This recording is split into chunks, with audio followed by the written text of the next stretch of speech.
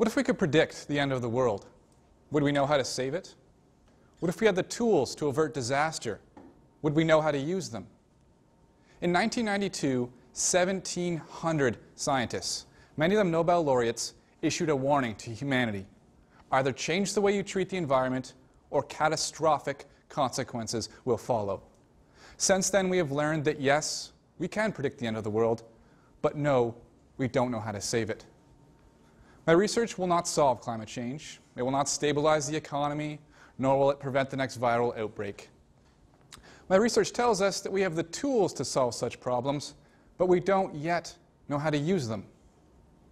In my work, I look at tools such as media in search of patterns.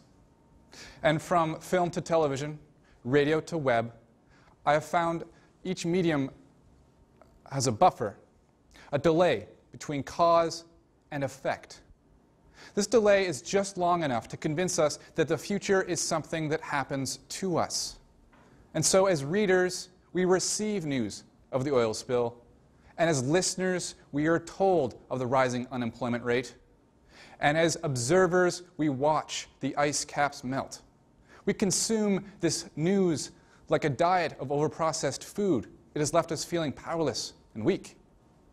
And so it's no wonder that two decades after that warning to humanity, we still seem destined for that predicted disaster. But what those 1,700 very intelligent men and women failed to realize is that on a global scale, problem solving is not merely hard facts and strong evidence. It requires motivation, mobilization, and engagement.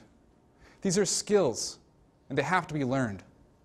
The buffer teaches us how to wait, how to react, how to rebuild.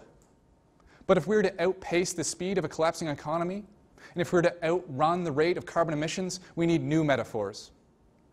Metaphors where we are the producers of our future and not the consumers of our present. Through my work, I produce games that separate causes from effects. I create websites that enable users to find patterns in the news. I develop media that teach us how to be active, engaged individuals.